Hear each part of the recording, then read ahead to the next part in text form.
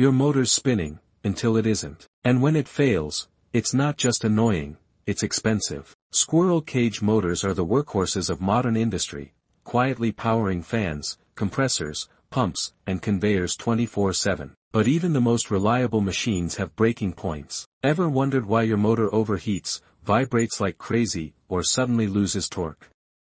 Whether you're a technician in the field or an engineer behind the scenes, spotting the early signs of trouble can save you downtime, money, and major headaches. Stay tuned to learn how to recognize these early warning signs, so you can stop motor failures before they stop your system.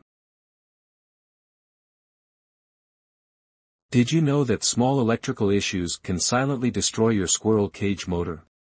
Let's break it down. Voltage imbalance, when the voltage across phases isn't equal, causes overheating and efficiency loss. Too much or too little voltage. Overvoltage or undervoltage strains the motor, leading to excess heat or weak torque. Then there's harmonics, those distorted power supply waveforms that sneak in, increasing losses and overheating. And the big one? Winding insulation failure.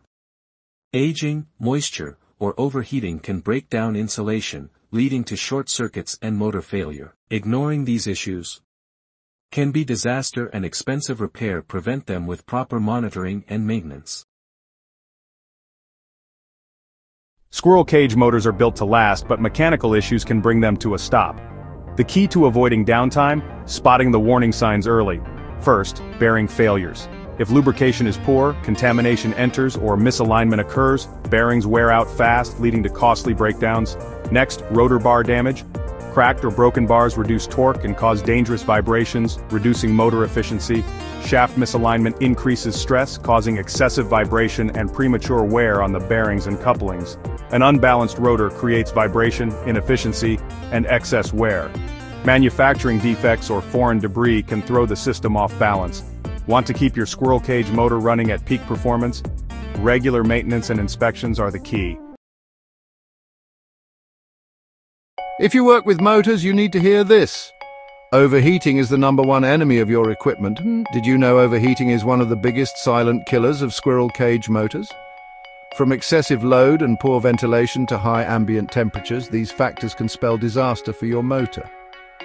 Frequent start-stop cycles are another heat generator, decreasing your motor's lifespan with each rapid cycle. So how do we combat this thermal menace? First, ensure your motor has proper cooling and airflow. Keep your load within recommended limits and avoid overworking your equipment. Finally, optimize your start-stop cycles to minimize unnecessary heat buildup. To extend your motor's life, remember these three key steps, cooling, load management, and smart controls. This is going to blow your mind. Your motor might be plotting against you. Yep, it's time to uncover the sabotage. A low power factor means your motor is guzzling electricity like a thirsty camel. And guess what? You're paying for every drop. Ever noticed lights flickering when your motor starts? That's high inrush current causing voltage dips. Basically, your motor is throwing a tantrum.